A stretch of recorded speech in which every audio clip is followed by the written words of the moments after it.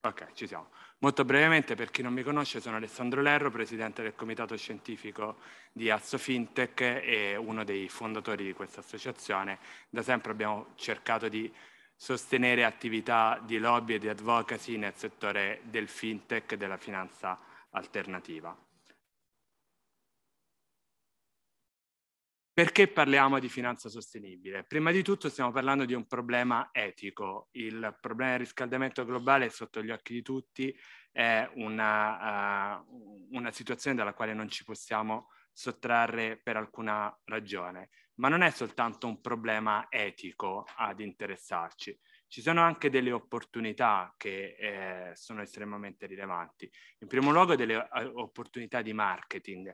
Spesso si contesta il cosiddetto fenomeno del greenwashing che obiettivamente è una sorta di eh, trucco che viene dato alle strutture per farle sembrare un po' più verdi, in realtà credo che in una fase come quella che stiamo attraversando adesso, il greenwashing non sia il male assoluto, sia un modo di cominciare a far capire alla gente che bisogna pensare anche al profilo della sostenibilità, quindi non è appunto il male assoluto, quindi è un profilo di marketing importante. Poi c'è anche un'altra motivazione per la quale parliamo di finanza sostenibile che è una questione proprio di bisogno. Oggi per avere denaro è indispensabile uh, avere un profilo ESG la BEI non dà più finanziamenti nei confronti di soggetti che non siano SG compliant e come vedremo tra poco il quadro normativo si sta indirizzando verso una obbligatorietà di un profilo SG quantomeno finalizzato alla sostenibilità dal punto di vista ambientale. Ci troviamo in una congiuntura molto molto particolare dove abbiamo tre forze in gioco, sicuramente forze economiche che stanno convergendo nel pretendere una uh, svolta verso la sostenibilità. Poi ci sono forze sociali e forze tecnologiche, che sono quelle alle quali prestiamo sempre grande attenzione come Asso Fintech, tutte cointeressate per uno sviluppo e un sostegno delle aziende che vogliono entrare nella, eh, nel mondo della, della profilazione SG e del miglioramento. Ogni azienda oggi è al centro dell'attenzione ma con il suo ecosistema, non da sola come una monade, perché quando andiamo a, a verificare un'azienda dal punto di vista SG, dobbiamo verificare anche i suoi fornitori, dobbiamo verificare anche i suoi clienti, quindi il suo stesso ecosistema, così come gli stakeholder e il territorio nel quale quella realtà si appresta ad operare. Eh, sapete che l'evoluzione normativa nel mondo SG è sostanzialmente concentrata negli ultimi dieci anni. Da prima già si parlava di rilevanza eh, di questi profili, ma c'è stata un'accelerazione a partire dal 2014 e poi con la definizione dell'Agenda 2030 eh, delle Nazioni Unite e poi una serie di ulteriori elementi di cui eh, ci parlerà di seguito anche il professor Giudici. Di fatto ci troviamo oggi ad, a gestire una situazione nella quale abbiamo il bisogno di istituire un laboratorio comune per promuovere da una parte l'innovazione e dall'altra l'elaborazione di best practice in materia di finanza sostenibile. C'è la necessità di avere delle linee guida perché oggi il mondo dell'SG eh, è conosciuto da pochi ed è in larga parte terreno di occupazione spontanea da parte di eh, molti che no, non hanno delle linee alle quali a, diciamo, allinearsi e quindi vanno eh, di testa loro a sviluppare processi che poi non è detto che abbiano eh, requisiti di misurabilità, obiettività e così via. E, e poi bisogna valutare l'incidenza delle iniziative SG eh, sui profili contabili, su, quindi sugli investimenti, su quelle che sono le risultanze del, del bilancio per vedere anche se c'è un'incidenza sul fair value delle, delle società o dei portafogli finanziari. Dicevo, c'è un intervento normativo importante. Questo intervento normativo è stato fatto dall'EBA che in modo molto deciso ha uh, imposto che dal primo luglio scorso, quindi parliamo di qualcosa che è già in vigore, tutte le istituzioni finanziarie che rilasciano credito sono diciamo, impegnate in investimenti devono effettuare una profilazione ESG dei loro target di investimento. Nelle proprie linee guida eh, l'EBA si sofferma sulla E, quindi sul profilo ambientale e sulla incidenza che un determinato business ha sul cambiamento climatico. Quindi eh, vengono valutati in particolare dal punto di vista finance i rischi fisici, i rischi di transizione in un eh, cambiamento, in un'evoluzione verso eh, una eh, impronta di carbonio meno eh, pesante, i rischi relativi al cambio di preferenza da parte delle, eh, degli investitori o dei consumatori di quella determinata azienda, i rischi di responsabilità civile che per alcune aziende potrebbero essere rilevanti e quindi i rischi legali. Se guardiamo questa matrice, vedete eh, l'impatto di alcuni eh, alcuni temi estremamente critici sulle banche e sugli st- stakeholder. Eh, il climate change ancora non è a livello massimo di impatto, è molto rilevante, più vicino, sì, è molto rilevante anche la parte etica, così come è rilevante la parte della digitalizzazione no? dal punto di vista dell'analisi eh, degli stakeholders, ma il climate change è imposto a questo punto dall'EBA e quindi diventa una regola da rispettare per forza. Sapete che il mondo ESG comporta una possibilità di classificazione delle società fino alla configurazione società benefit o di B corporation e, e che il, eh, l'ESG, la, l'analisi ESG, rating ESG, è il primo passaggio. A cosa servono le azioni ESG? A identificare e definire i rischi, a definire una governance e una strategia di miglioramento. Quindi l'analisi SG è prospettica, mentre il sistema ISO tradizionale, ne parlerà poi Camillo Zana, eh, fa un po' una fotografia dei processi e, ed è eh, guarda indietro. L'analisi SG deve guardare molto in avanti, il miglioramento che può fare l'azienda, poi i processi, gli strumenti e eh, ovviamente il reporting di quello che eh, l'azienda vuole fare dal punto di vista SG, contribuendo quindi alla creazione di valore rispetto all'ambiente esterno, alla eh, relazione con gli stakeholder o con altri soggetti come per esempio i fornitori. Per alcune aziende è già obbligatorio un report di sostenibilità, parliamo delle grandi imprese, parliamo delle società quotate. Certo non è vietato fare un report di sostenibilità per le aziende più piccole e sicuramente può dare una mano nel raccontare la uh, storia di un'azienda e quindi nel perseguimento di una serie di obiettivi che vedremo tra un attimo. Il report di sostenibilità deve necessariamente appoggiarsi su delle fasi che sono eh, la raccolta dei dati, la definizione definizione di un, di un metodo per l'analisi e la raccolta dei dati, la definizione di un report di sostenibilità e quindi una fase certificativa di cui poi appunto il dottor Zana ci parlerà.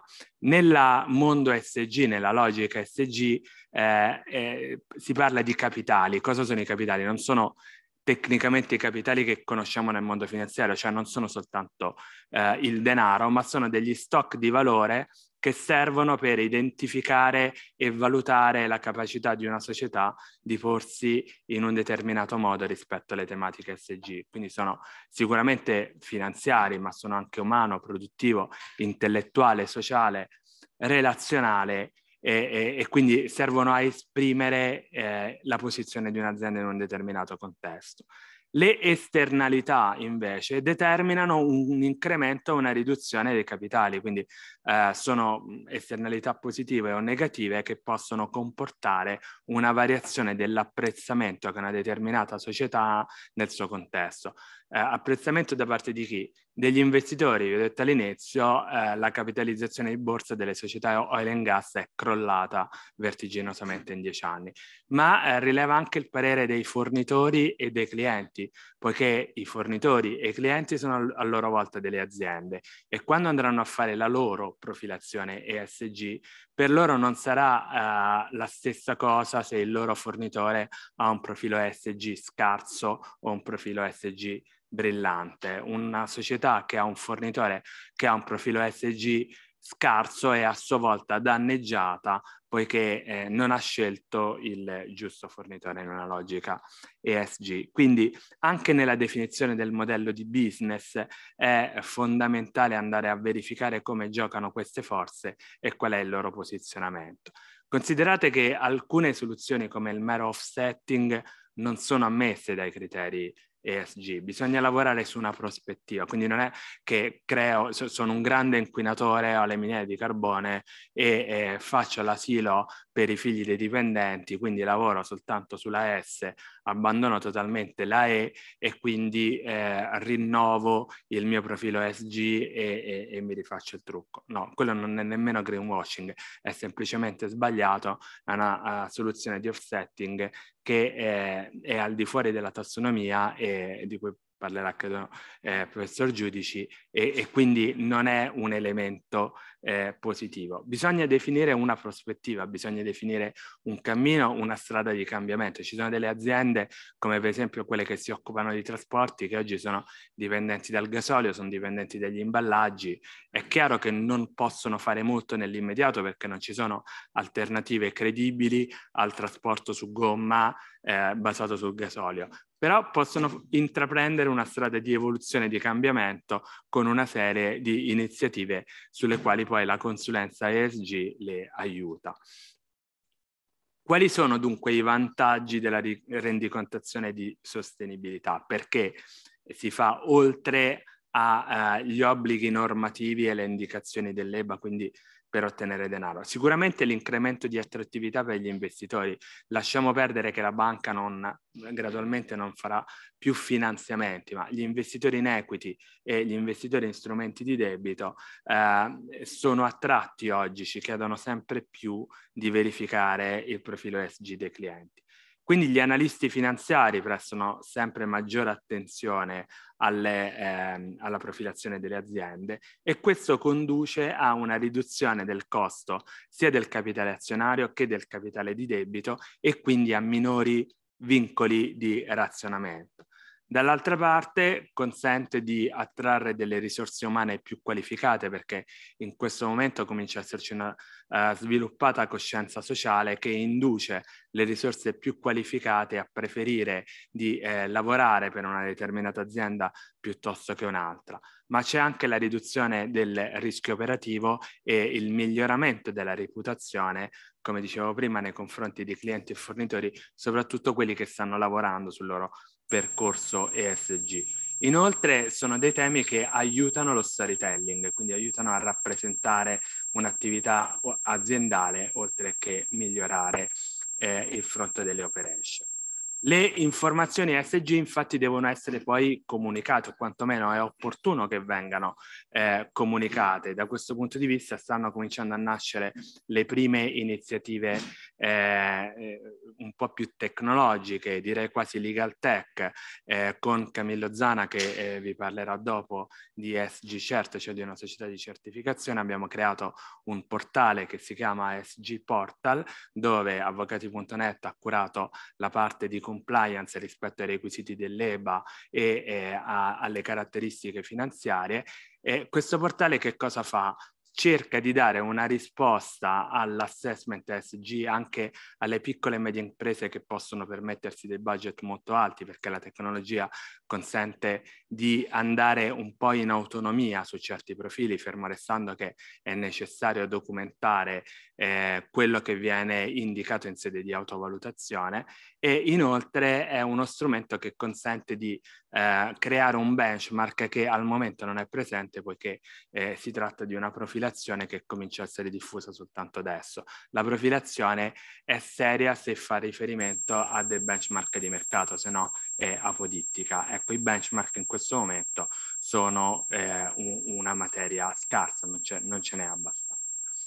Toccherà trovare poi anche delle soluzioni sugli standard di, eh, di rendicontazione. Al momento eh, esistono almeno cinque standard internazionali riconosciuti di rendicontazione che possono eh, dare un'indicazione sul profilo ESG, eh, si cerca di andare verso metriche condivise, almeno il World Economic Forum nel 2020 ha suggerito di andare in questa direzione, eh, bisogna vedere se le nazioni accetteranno di convergere su un unico standard. Ricapitolando, perché ESG è informativa di sostenibilità? Sicuramente perché ci sono degli obblighi di legge per alcune aziende, quindi le quotate, quelle che hanno più di 500 dipendenti e fatturato maggiore di 40 milioni. perché per ottenere finanziamento bancario secondo regole dell'EBA è necessario dal primo luglio scorso avere una profilazione SG con particolare riferimento agli aspetti di sostenibilità ambientale, perché eh, se si cercano, eh, se si cerca equity o se si cerca debito, eh, l'investimento è sempre più spesso posto in relazione a criteri di sostenibilità. Ancora perché la filiera di ciascuna azienda sarà sempre più demanding dal punto di vista della trasparenza e dei profili SG. In alcuni casi, in alcuni settori dove ehm, nel mondo degli appalti è già eh, in atto una tendenza a richiedere una profilazione SG oltre alle certificazioni usuali per questo settore e perché il, l'accesso a alcuni finanziamenti pubblici e diciamo eh, la BEI da questo punto di vista è un po' un'antesignana, potrà richiedere di limitare, di, di, potrà essere limitata soltanto ai soggetti che hanno determinati requisiti ESG. Sono andato un po' di corsa per recuperare il tempo perduto dal punto di vista tecnico, eh, magari in fase poi di chiusura, se vogliamo aprire un dibattito, magari eh, facciamo delle domande specifiche, entriamo nel dettaglio e a questo punto passerei la parola a Giancarlo Giudici. Grazie, buongiorno a tutti. Sono Giancarlo Giudici e fra le altre cose, con molti di voi ci siamo visti qualche giorno fa la presentazione del report sulla finanza alternativa. Oggi diciamo cambio Jack, sono qua presente in quanto direttore del Master in Sustainable Finance che è, attivo presso la nostra scuola di master del Politecnico di Milano. Se possiamo far partire le, le slide. Perfetto, ecco qua, possiamo andare alla prima. Quindi io mi allaccio idealmente a tutto quello che ha detto Alessandro Lerro finora, che ha fatto questa introduzione a 360 gradi su quello che è il tema finanza. Sì, sto prendendo tempo, infatti, sto, sto, prendendo tempo. Quindi mi riallaccio idealmente a um, tutte le cose che ha detto Alessandro Lerro finora e mi focalizzerò in particolare su due tematiche, che sono quelle della tassonomia, eh, che risponde all'obiettivo di cui parlava anche poco fa Alessandro, cioè quello di evitare il greenwashing, cioè tutti sono sostenibili, nessuno è sostenibile. No? Allora quali sono i criteri per definire quando un'attività può essere definita sostenibile, quando un fondo che dice di essere eh, di investire in titoli sostenibili, in attività sostenibili, può veramente definirsi sostenibile. E poi nella seconda parte vorrei magari provare a buttare sul tavolo anche a vantaggio della, eh, del seguito di questa tavola rotonda una serie di possibili punti che possono indicare cosa può centrare il tema della finanza sostenibile invece con il fintech. Vediamo se ci riusciamo.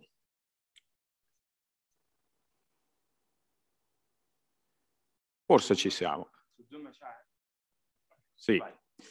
Se partiamo con la prossima slide. Ok, le posso girare anche da qui, va bene.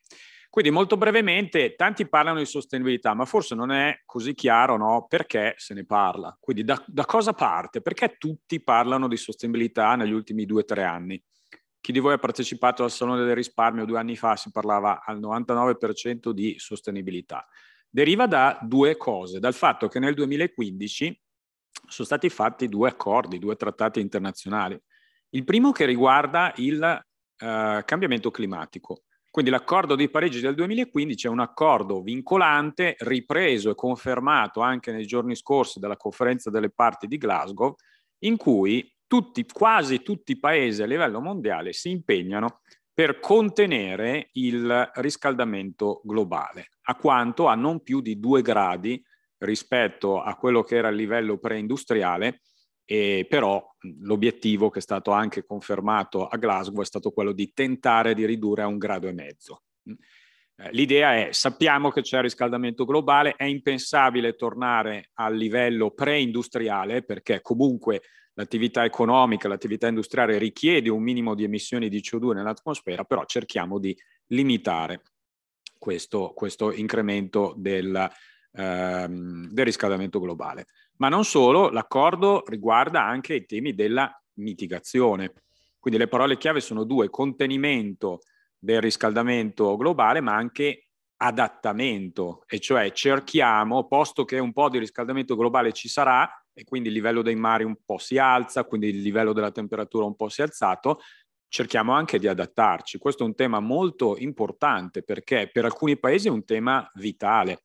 Avete visto magari in televisione nei giorni scorsi il, il primo ministro di non so quale isola del Pacifico che ha fatto la conferenza mezzo sommerso in acqua, no? perché per alcuni paesi questo è un problema proprio di esistenza stessa eh, nel momento in cui il livello de- del mare tende ad alzarsi. E poi lo cito anche perché è un tema di rischio per le imprese. Quindi il cambiamento climatico fa aumentare la temperatura media, quindi vuol dire che chi vende gas, ad esempio per riscaldamento, fatturerà di meno, provoca eh, disastri a livello ambientale, provoca siccità, provoca e- eventi meteorologici estremi e quindi questo comporta dei rischi e dei danni per le imprese, ad esempio nel settore dell'agricoltura. Secondo tema, seconda cosa che è stata fatta a Parigi nel 2015, ce la ricordava poco fa Alessandro, è quella dei 17 obiettivi strategici globali. Quindi non si parla solo di clima e di cambiamento climatico, ma si parla in generale di 17 obiettivi strategici che in un qualche modo eh, vincolano quelle che saranno le azioni, gli investimenti, le strategie di tutte le imprese, di tutti i cittadini, di tutte le organizzazioni da qua fino ai prossimi anni. Allora, in tutto questo, come vi dicevo, i temi su cui mi voglio focalizzare sono ma qual è, qual è, la credibilità per i fondi di investimento che oggi si definiscono sostenibili e quindi sono ispirati, orientati a questi due, ehm, questi due temi, questi due vincoli eh, che noi abbiamo a livello mondiale? E che strumenti abbiamo per, che, che avevamo, che strumenti avevamo? Andava così bene. che strumenti avevamo per discernere e come il fintech può aiutarci.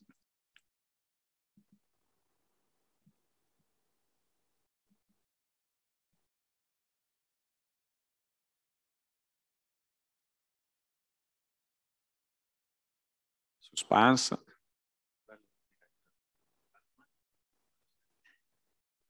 Ecco, allora, quindi nell'ambito di tutto questo, che è un tema veramente ampio, se ne potrebbe parlare per ore e ore, però io ho detto che focalizzo solo su alcune cose. Quindi ad esempio la tassonomia. Allora, la tassonomia riguarda sostanzialmente due grandi mondi. Il mondo delle attività produttive, quindi una certa attività produttiva può definirsi sostenibile, il nucleare è un'attività sostenibile? Qualcuno magari penserà no, è scontato che non lo sia, o magari qualcuno penserà no, invece lo è perché è meno inquinante rispetto ad altre. Beh, su questo c'è un confronto serratissimo a livello all'interno dell'Unione Europea perché evidentemente alcuni paesi come la Francia vogliono che la produzione di energia elettrica dal nucleare sia considerata sostenibile, invece altri sono un po' più tiepidi. Quindi non è così facile poi dopo definire se una certa attività produttiva è sostenibile o no e quali sono i livelli minimi, mm, la soglia, l'asticella al di sopra della quale se tu non inquini più di tanto questa attività può essere definita sostenibile. E su questo ci sono dei criteri, quindi una commissione tecnica a livello europeo si è espressa e ha detto quali sono le soglie minime no, al di sopra delle quali si può definire che se un'attività economica che magari comunque è inquinante di per sé, però viene fatta con determinate precauzioni, con determinati criteri, può comunque essere denominata sostenibile. Ma il mondo su cui voi invece vorrei ehm, focalizzarmi, perché probabilmente riguarda più da vicino il fintech, è invece la tassonomia per il mondo della finanza. E quindi quando un prodotto finanziario che investe in titoli finanziari di imprese che possono essere più o meno inquinanti, imprese che possono essere più o meno attenti al fattore sociale, più o meno attenti al fattore di governance, allora può essere definito sostenibile. E qua l'Unione Europea ci dice ci possono essere tre possibilità. Il minimo sindacale, quello che tutti adesso nel mondo della finanza e del risparmio gestito chiamano articolo 6, è il minimo sindacale, quello che ci ricordava poco fa Alessandro, e cioè le norme europee ti impongono comunque a ogni market participant e financial advisor, quindi praticamente chiunque sul mercato finanziario, di dire come tu consideri l'aspetto della sostenibilità nei rischi, mm, nella gestione del rischio, quindi nel risk management rispetto agli investimenti che fai. E qui vale il cosiddetto principio comply or explain. Quindi o ci spieghi come tu consideri i rischi legati alla sostenibilità il rischio che ad esempio un'impresa in cui tu hai investito poi registri episodi di corruzione, il, ri- il, rischio che un'impresa in cui hai investito poi dopo subisca dei danni eh, legati al cambiamento climatico, eccetera, eccetera, come tu lo consideri. E se non lo consideri ci devi spiegare il perché. Comply or explain. Qua evidentemente è diciamo il minimo sindacale e come vi dicevo eh, infatti non è il posto, non è la classificazione dove oggi fondamentalmente i fondi di investimento vogliono finire. I fondi di investimento vogliono finire perlomeno nell'articolo 8. Articolo 8, eh, perché articolo 8? Perché la definizione nell'articolo 8 del regolamento SFDR. Articolo 8 ci dice che qua in questa categoria ci sono i fondi che fra le altre cose quindi fra elementi classici di analisi fondamentale, di valutazione del business, della redditività e così via, noi andiamo a considerare anche elementi legati alla sostenibilità. Il che vuol dire che, ad esempio, se sono indeciso fra investire in due diverse società fintech, mm, vado a vedere qual è la più sostenibile e investo in quella che è più sostenibile. No, questo vuol dire sostanzialmente articolo 8. L'articolo 9 è invece la versione più evoluta. Quindi se un fondo uh, aspira e ambisce a diventare, ad essere classificato nella tassonomia europea come articolo 9, è un fondo che sostanzialmente ha come primario obiettivo, quindi non come nell'articolo 8 fra l'altro, fra le altre cose, ma nell'articolo 9 ha come primario obiettivo la creazione di impatto, quindi impatto che può essere dal punto di vista ambientale, sociale. Ora, come si sta muovendo il mercato? Guardate che su questo tema tutte le società che in Italia in questo momento producono fondi e quindi hanno, sono responsabili, gestori di fondi, è sulla loro agenda, diciamo, in cima alle cose da fare. Perché che cosa accadrà? Accadrà che praticamente nessuno vorrà rimanere articolo 6 e tutti stanno puntando a diventare articolo 8 perché mini- diventerà, diciamo, lo standard minimo accettabile di mercato. E infatti, se andiamo a vedere, questi sono dati di assogestioni che magari da casa riuscirete meglio ad apprezzare, non so quanto si apprezzeranno qua, qua dalla sala, però sostanzialmente gli ultimi dati che sono stati rilasciati da assogestioni sulla raccolta netta dei fondi ci dicono che i fondi sostenibili, quindi articolo 8 e articolo 9, stanno trainando la raccolta di mercato. Infatti nel secondo trimestre del 2021 la raccolta netta, che è stata positiva per l'industria del risparmio gestito in Italia, coincide quasi con la raccolta netta dei fondi articolo 8 e articolo 9. Quindi oggi tutta l'industria si sta concentrando in questa direzione. Ed è vero quello che dicevo prima, cioè la stragrande maggioranza dei fondi punta a diventare articolo 8, perché articolo 9 riguarderà una minoranza sostanzialmente di fondi, quelli magari molto più verticali e specializzati, che sono magari fondi con uno sfondo etico oppure fondi che mirano esplicitamente a creare un impatto di tipo sociale, quindi social impact finance e così via. Quindi il mondo e l'Italia sta andando in questa direzione. Quindi i fondi ormai sono chiamati, no, tutti i fondi, fondi aperti, fondi chiusi, fondi di private capital, vogliono diventare articolo 8. E l'industria, questi sono dati di Morningstar, ci fa vedere come ormai a livello mondiale siano quasi 5.000 i fondi sostenibili, fondi che in Europa potremmo dire sono articolo 8 o articolo 9, quindi considerano esplicitamente o primariamente eh, tematiche legate alla sostenibilità. Questo è il flusso a livello mondiale di nuovi fondi che in ogni eh, trimestre arrivano sul mercato. Vedete che sono più di 150 ogni trimestre sostanzialmente e la stragrande maggioranza è in Europa. L'Europa, come sapete, è in questo momento leader a livello mondiale nel guidare quelle che sono le policy e, e, e le regolamentazioni, ma anche l'attenzione degli investitori sui temi della sostenibilità. Secondo tema che volevo trattare è quello dei benchmark, e cioè un fondo può essere sostenibile o meno. La tassonomia europea ci dice quali sono i criteri attraverso i quali tu puoi definirti articolo 8 o articolo 9. Ok, ma c'è anche il tema del cambiamento climatico. Quindi l'Unione Europea ci dà anche dei riferimenti rispetto ai cosiddetti benchmark climatici, e cioè quando un fondo può dire che contribuisce agli obiettivi di Parigi, agli obiettivi di riduzione e di adattamento al cambiamento climatico. Mm, sono dei criteri molto ben definiti ci sono tre obiettivi principali 10 fasi del piano di azioni che hanno generato due possibili benchmark che vedete raffigurati qua. Adesso vorrei non, non abusare troppo del, del, tempo, però rimane agli atti e potete fa- eh, eh, facilmente trovarla su internet questa definizione. E cioè l'Unione Europea... Questo potrebbe essere la prima di una lunga serie di seminari da questo punto di vista. Volentieri, per noi, con noi sfondi una porta aperta perché stiamo facendo tantissima formazione su questo. E quindi l'Unione Europea che strumenti ci dà, oltre a articolo 8 e articolo 9, specificatamente sui benchmark climatici, ci dice anche quando un fondo può essere definito come allineato alla transizione climatica, questa sigla CTB, che vuol dire Climate Transition Benchmark, o ancora di più, no, ancora di più eh, allineato agli accordi di Parigi. Quindi questa sigla PAB che sta per Paris Aligned Benchmark. È una specie di bollino addizionale.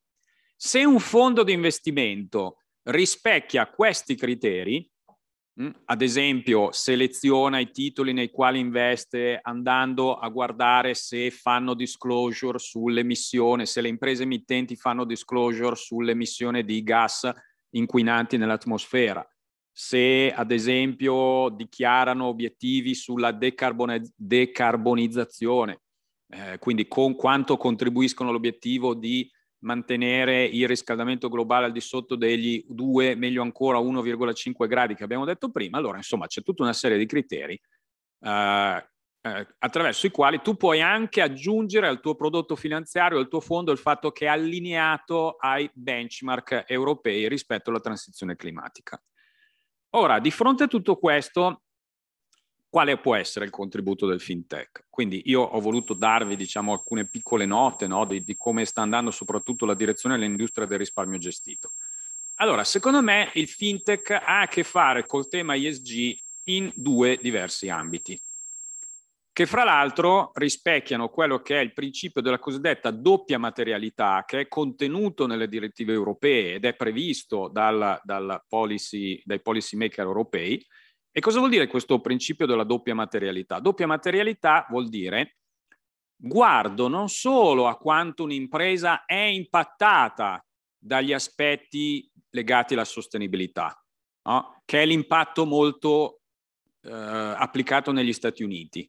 Principio secondo il quale io vado a vedere come un'impresa viene in un qualche modo impattata dai rischi legati al fattore ambientale, al fattore sociale, al fattore di governance. Quindi rischio che magari ci siano episodi di corruzione, rischio che magari un dipendente abbia un incidente sul luogo del lavoro, rischio che l'impresa vada ad inquinare o sia danneggiata dall'inquinamento, ma poi c'è anche l'altro aspetto, quindi doppia materialità, l'altro aspetto invece la prospettiva si ribalta, cioè quanto l'impresa contribuisce a raggiungimento dei 17 obiettivi strategici globali, quanto l'impresa contribuisce a ridurre il cambiamento climatico e adattarsi al cambiamento climatico. Quindi principio della doppia materialità. Allora, da una parte, quindi le aziende fintech, sulla base di quello che diceva Alessandro, sono chiamate a interrogarsi su quanto sono sostenibili rispetto ai KPI, rispetto ai parametri che abbiamo visto prima.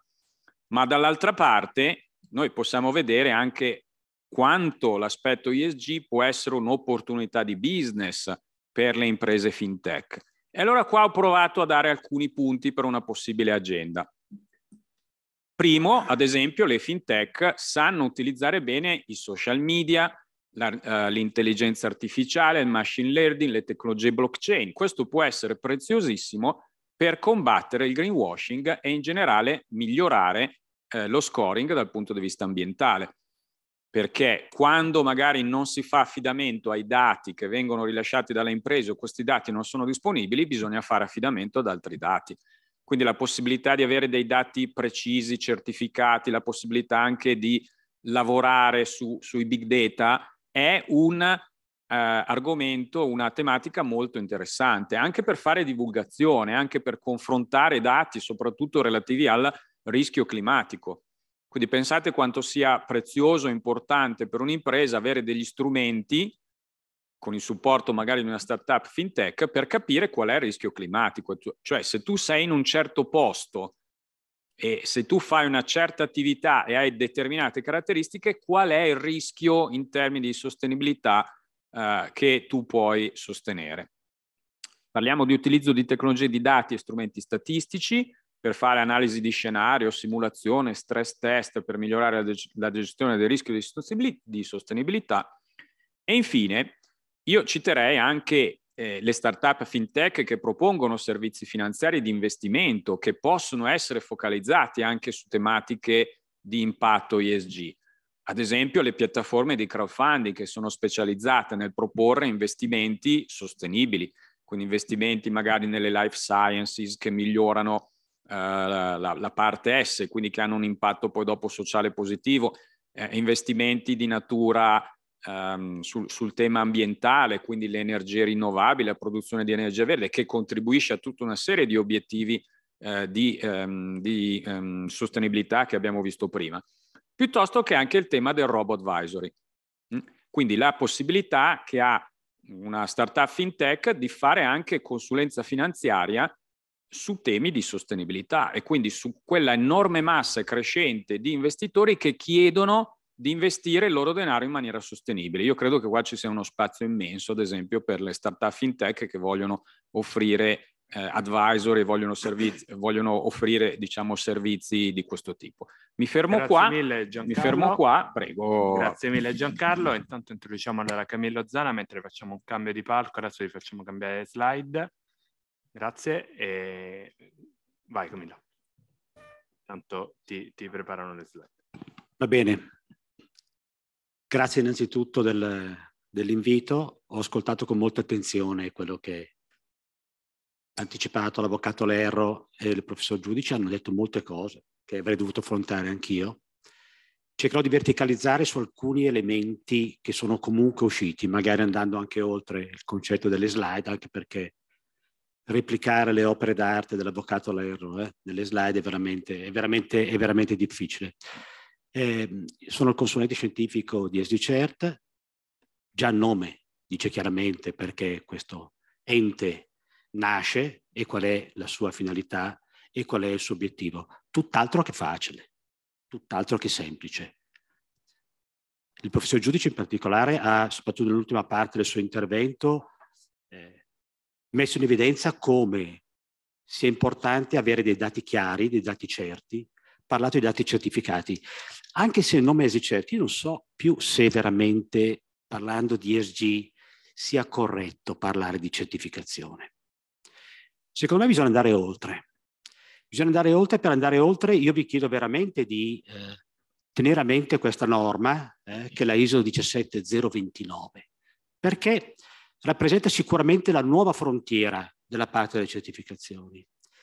E la rappresenta perché di fatto introduce due concetti fondamentali che sono quelli di verifica e di validazione. Ora, la sostenibilità dovrà rispondere in parte a una serie di eh, requisiti e disposizioni normative. Già le anticipate sia l'avvocato Lerro che il professor Giudici ma ci scontreremo sempre di più con tutta una serie di affermazioni, con tutta una serie di asserzioni che dovranno essere verificate. Chiunque di voi vada sul sito web di qualsiasi organizzazione che decide di mettere in evidenza questo argomento vedrà io sono sostenibile perché. E chi lo dice? Io per esempio opero parecchio nel campo del trasporto e della logistica. È pieno di trasportatori che dicono di essere sostenibili perché hanno due, tre, quattro mezzi LNG. Il professore sa benissimo che se la mettiamo da questo punto di vista, per quanto riguarda il contributo rispetto alla CO2 equivalente, quindi rispetto a uno scopo 1, per esempio, non siamo molto lontani eh, da una eh, dire, realtà performante di altri tipi di alimentazione. Ma cosa vuol dire verifica? Cosa vuol dire validazione? La verifica è sostanzialmente la conferma di un'osservazione su dati storici. La validazione è riuscire a dichiarare quanto è attendibile quello che io vado a dichiarare nel futuro. Quando parliamo di ESG non dobbiamo fermarci al presente. La fotografia della situazione attuale è relativa a quello che è importante è dove si andrà e dove ci sarà concesso di andare. E su questo faccio un'anticipazione personale. Io ritengo che tra le tre lettere, quella che sarà sicuramente la più percorribile in materia di miglioramento è la S. La E, benissimo, in questo momento qua è sicuramente al centro dell'attenzione, è diciamo l'argomento più stressato, però la S è quella sulla quale forse si può agire in modo molto più eh, concreto. È importante comunque capire eh, il legislatore cosa fa.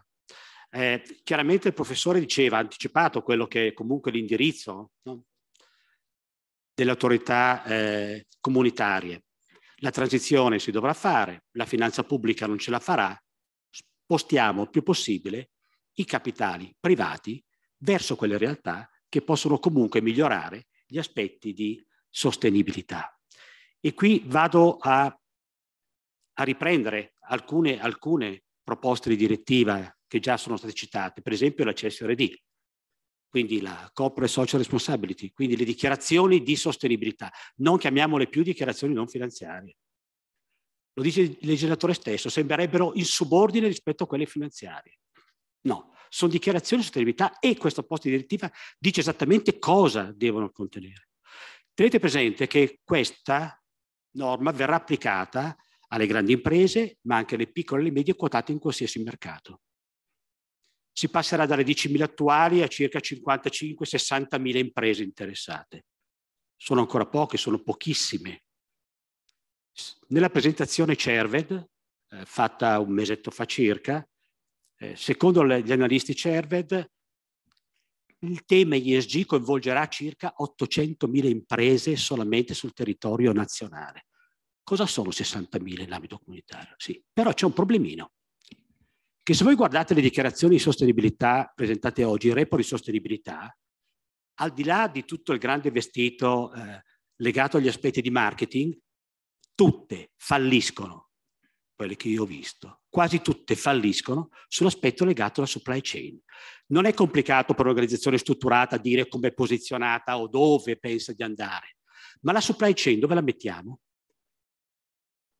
Tutti o quasi tutti sono terzisti di qualcun altro e tutti e quasi tutti dovranno essere coinvolti da questo tipo di percorso. La direttiva mi dice cosa deve contenere eh, questa dichiarazione e come va strutturata e mi dice anche che il fatto che le dichiarazioni finanziarie debbano essere certificate e queste no, renderebbe, la renderebbe eh, eh, non giustizia e soprattutto renderebbe difficilmente comprensibile eh, l'importanza che può avere questo tipo di, eh, di, di, di attività. Quindi dove si inseriscono gli enti di certificazione? Il proposto dice chiaramente, potranno essere state revisione, i revisori contabili purché abbiano fatto un determinato percorso o gli enti accreditati. Quindi questo sarà sicuramente un argomento assolutamente importante per il futuro, ma attenzione, quella che secondo me avrà l'impatto assolutamente più devastante è la proposta relativa alla due diligence ho avuto modo di assistere a un webinar molto interessante dove allo stesso tavolo erano seduti Manitese e Moody's. Il diavolo e l'acqua santa, permettetemi questo tipo di eh, paragone. Del resto di questi esempi c'è tantissimi. Abbiamo il manifesto dell'Economy for di Davos del 2020 e abbiamo le encicliche di Papa Francesco. Laudato sì e fratelli tutti. Due fonti completamente diverse che arrivano sostanzialmente ad un punto eh, di congiunzione e addirittura di sovrapposizione per quanto riguarda certe scelte da prendere. La due diligence sostanzialmente punta tutto sugli human rights, quindi andiamo sulla lettera S e obbligherà anche qui l'organizzazione di grandi dimensioni quotate in borsa di mercato a dichiarare pubblicamente qual è l'analisi che viene fatta per quanto riguarda la, loro del, la catena del valore per quanto riguarda human rights. Voi sapete che lo, schema, lo standard principale di riferimento, lo schema principale di riferimento per quanto riguarda le dichiarazioni, sostanzialmente è il GRI. Il GRI nell'ultima edizione dell'ottobre scorso ha messo gli human rights dappertutto. E questo sarà sicuramente un argomento, anche questo centrale, fortissimo, perché l'impianto di questa proposta è lo stesso del GDPR, di quello della privacy, del data protection con delle sanzioni che possono andare anche in relazione al fatturato e soprattutto il divieto anche per esempio di partecipare ad appalti pubblici, finanziamenti, eccetera, eccetera, ma soprattutto apre in modo chiaro la possibilità delle azioni civili. Cara la mia organizzazione, caro il mio fondo, secondo me tu hai dichiarato il falso. La tua catena del valore produce un danno incredibile. Io ti faccio causa. E tu mi devi, mi devi rendere conto. SFDR, non mi fermo su questo perché diciamo che è un argomento che sicuramente eh, conoscete moltissimo, però i partecipanti ai mercati finanziari l'ha spiegato benissimo, benissimo con le sue slide il, il professore. Qui è vero, c'è un movimento pazzesco. Nessuno sa bene cosa fare. Per il momento se la cantano e se la suonano.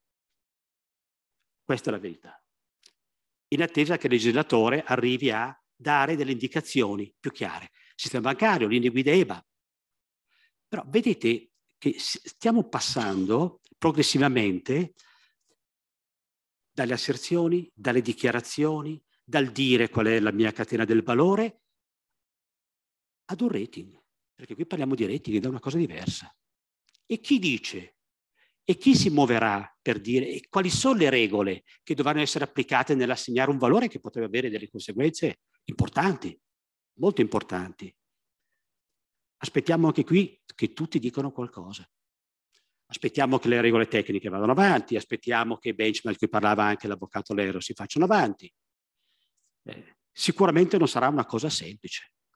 Inserire rischi in tutte le operazioni di credito ho avuto modo, eh, soprattutto eh, eh, collaborando con altre iniziative che ha parlato anche l'Avvocato Lero, per esempio G-Portal, questo portale di raccolta dati e informazioni, mh, hm, di incontrarmi con dei funzionari del, del, del, di DCNA, della Confederazione Nazionale Artigianato. Hanno capito benissimo l'argomento. Cioè loro che si occupano delle piccole organizzazioni si stanno muovendo in modo importante per dare ai loro associati un primo strumento di valutazione che poi potranno utilizzare indipendentemente da quelle che sono anche le, le, dire, gli obblighi che possono arrivare dai singoli studi bancari. Ovviamente una confederazione di questo tipo ha un potere contrattuale anche forte nei confronti delle istituzioni. E quando parliamo di rating ESG, se quelli finanziari sono sovrapponibili al 95%, quelli ESG probabilmente sono diversi al 95%.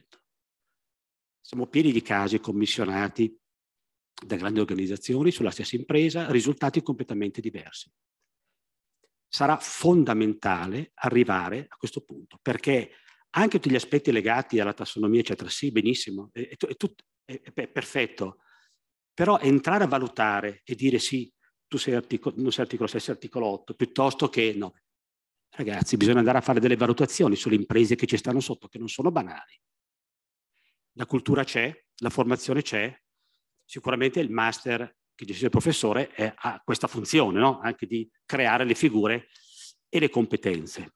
Quindi quello che è fondamentale, e qui vado a chiudere sostanzialmente, è quello di avere informazioni chiare. Le considerazioni della BCE sono chiare da questo punto di vista. Informazioni non definite, asimmetriche, rendono estremamente complicato tutelare il destinatario di queste norme che è l'investitore se parliamo ovviamente di aspetti e di partecipanti ai mercati, ai mercati finanziari. Ma quello che sarà fondamentale è ragionare in termini di prospettiva. E quindi mi ricollego alla prima slide, cioè fondamentale, tenetelo a mente, parlare ora di 17029, di parlare di verifica e di validazione, cioè di quanto quello che io mi do come obiettivo è plausibile ed è sostenibile e non è solamente una bella operazione di marketing. Grazie. Grazie mille Camillo, e io adesso cambio lo schermo rapidamente ed intanto passo la parola a Massimiliano Breghin che ci racconta un'esperienza pratica in uh, un settore molto molto legato al tema di cui stiamo trattando. Sì, eh, buongiorno a tutti. Io ringrazio l'amico Lerro. Data l'ora io parlerò di arte, quindi non parlerò di finanza che mi sembra più appropriato. Ma diciamo che in realtà Infinity Hub è nata da un sogno nel 2016 che era quello di condividere eh, esperienze di alta finanza sul green con cittadini, quindi eh, era un po' il tentativo di eh, rendere anche emozionale un'economia mh, fatta di piccoli progetti piuttosto che di grandi numeri, di grandi B2B. Eh, il 18 di novembre di quest'anno, scusate, nel report leader della crescita eh, analizza 8.000 aziende che, di tutte le dimensioni che hanno avuto un incremento di valore della produzione superiore al 15% e Infinity Hub sì, eh, la leggiamo come quarta, con una crescita del 209%. Nel mese di settembre abbiamo fatto la prima campagna di equity crowdfunding per, volo, per volumi, oltre 2 milioni di euro incassati in due mesi e quindi dopo cinque anni eh, credo che eh, la validazione del modello eh, con questi risultati sia eh, più che mai raggiunta. Ma la cosa più interessante è eh, il numero di soci che sono stati prodotti con il, nuovo, con il nostro modello di business. Siamo partiti con 20 azionisti fondatori, siamo diventati benefit in automatico eh, a luglio di quest'anno perché rispettavamo già dalla nascita i criteri ESG. Per cui eh, ci siamo concentrati molto già dall'origine sulle cose che hanno un senso, perché da bambini le sappiamo quali sono le cose che hanno un senso. Poi abbiamo bisogno di 20.000 regole, 20.000 norme, eh, comandamenti, però da bambini lo sappiamo. E quindi abbiamo dovuto entrare, io sono un amante nell'entrare eh, come diploma son geometra, quindi mi piace disegnare, scarabocchiare modelli, eccetera, e mi piace entrare intimamente sulle tecnologie, sui modelli, sulle delibere di finanziamento, sul crowdfunding, e abbiamo avuto un gran culo perché nel 2016 è partito il crowdfunding in Italia, l'equity crowdfunding. Quindi abbiamo inanellato la prima campagna di equity crowdfunding sul green, su noi stessi, l'anno, scor- l'anno successivo la prima campagna sulla mobilità elettrica, poi la prima campagna sull'eolico, poi la prima campagna su riqualificazione di impianti sportivi e oggi siamo in odore di quotazione in borsa. La campagna di settembre abbiamo eh, raccolto 2 milioni e 17 euro da 332 eh, nuovi azionisti di Infinity Hub eh, più della metà investitori professionali. Eh, Antoine de Saint-Exupéry dice che per unire gli uomini è necessario indurli a lavorare assieme.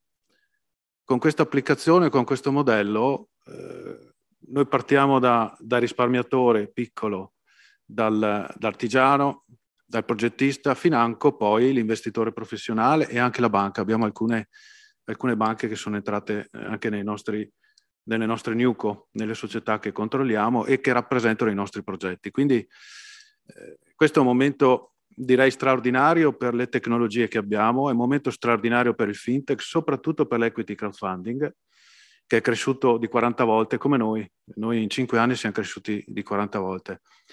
E quindi eh, credo che abbiamo di fronte a noi delle possibilità che sono molto superiori a quanto il legislatore riesca a correre dietro e a normare. Ma perché io lavoro, noi lavoriamo con 4-5 portali, i primi, in maniera ormai sistematica. L'età degli operatori del crowdfunding di poco sfiorano i 31-32 anni. E lavorano H24. I gruppi WhatsApp hanno una velocità di esecuzione terrificante. Perché poi per noi, diciamo, due sono gli elementi principali che dovrebbero caratterizzare ciò che veramente è fintech. Credo che uno di questi li ho sentiti un quarto d'ora fa, uno è il tempo. Perché eh, se devo pensare ad un'iniziativa sostenibile, ma ci impiego vent'anni, è capace di futuro, ma se ci metto vent'anni a partorirla, inutile. L'altro aspetto è il win-win, che io sono un amante di Dante, vorrei, parla- vorrei dirla in italiano, cioè il punto di Pareto efficienza, che si studia in economia, che in realtà di fatto non è mai raggiungibile. Non è vero, non è assolutamente vero eh, i nostri nonni lavoravano in parete efficienza continuamente, cioè perché, perché non può essere tutto un do ut des, non può essere tutto normato, non me ne volere, da contratti con 27.000 clausole con norme del legislatore, ci vuole il buon senso, perché con il buon senso si crea l'obiettivo comune e l'alleanza è univoca, non c'è, c'è solo una squadra che vince, non ci sono squadre da contrapporre perché l'obiettivo mio è diverso dal tuo. Gli obiettivi devono essere chiari, limpidi, trasparenti E nella sostenibilità ciò avviene in maniera assolutamente interessante, ma se si va a leggerla, se si va a viverla, e se la si vive non solo con il cervello, non solo con i muscoli. In Infinity usiamo molto cervello, molto muscoli, però cerchiamo di lavorare con passione, no? quindi con sacrificio, fatica, ma senza mai lasciare nulla indietro. I 1032 soci che oggi abbiamo nel gruppo, probabilmente la metà non sapevano nemmeno cosa fosse project financing, che cosa fosse l'equity crowdfunding, che cosa fosse anche l'efficienza energetica. Guardate che l'efficienza energetica, raccogliere 2 milioni in due mesi per l'efficienza energetica è, è una cosa folle perché eh, quando noi pensiamo a sostituire le lampadine, le caldaie, i cappotti, gli infissi sono rotture di balle terrificanti, cioè chi, chi vuole investire su un'azienda che moltiplica progetti di questo tipo? Nessuno. Salvo il fatto di renderla emozionale. Però per renderla emozionale bisogna far vincere tutti, perché l'esperienza deve essere condivisa. Io ho tre figli maschi, eh, tra l'altro uno eh, è appassionato di centrali nucleari, sta facendo ingegneria energetica, ma avrà il tempo per comprendere meglio ciò che è veramente sostenibile e soprattutto dove vinciamo tutti. Perché la Pareto Efficienza, quando la applichi, è interessantissima perché tutti possono vincere. Eh, I progetti che mettono al centro l'equity crowdfunding, quindi la condivisione del capitale sociale di un'azienda è cosa vera. E la relazione umana, che è il nostro bene più profondo, si attiva in maniera automatica, non c'è norma. C'è semplicemente l'investitore che vuole informazioni, che magari vuole capire meglio, vuole replicare, vuole fare attività commerciale. Noi abbiamo decine di milioni di progetti in pipeline, non abbiamo commerciali perché chi entra porta progetti, è interessato a scavare, è un'educazione. Quindi noi siamo, a dire il vero, molto più vicini al mondo dell'educazione piuttosto che al mondo finanziario. Però le banche hanno bisogno di nuovi modelli, collaboriamo, finanziano i nostri progetti che i primissimi erano assolutamente imbancabili, però eh, girano, funzionano, creano redditività. E quindi questo è veramente eh, molto molto eh, interessante. Eh, vorrei concludere con una definizione che dà eh, lo scrittore Sharpegui di rivoluzione, perché secondo me oggi siamo di fronte ad un momento che è rivoluzionario, soprattutto per il fintech, per il cleantech. Ed è tutta positiva la, la definizione, non dà contrapposizioni, non parte da questo no, ti dico io quello che è sì, ma parte da una simbologia che è il simbolo è l'incontrario di diabolico. Il simbolo unisce, il diabolico divide evidentemente. E la definizione è questa. Ciò che fa una rivoluzione è la novità, la totale novità dell'istante che è venuto rispetto all'istante che lo aveva imprudentemente preceduto. È questa totale novità che fa la rivoluzione, non la contrapposizione. Passare attraverso la crisi di una rivoluzione c'è sempre una crisi dove c'è una rivoluzione, magari un attimo prima, è essere mentalmente, sentimentalmente, essenzialmente trasferito in un mondo nuovo. E questo è quello che dobbiamo fare. Grazie. Ringrazio Massimiliano per questa splendida chiave di lettura. A questo punto siamo molto molto stretti con i tempi, quindi passo la parola al panel successivo. Grazie a tutti.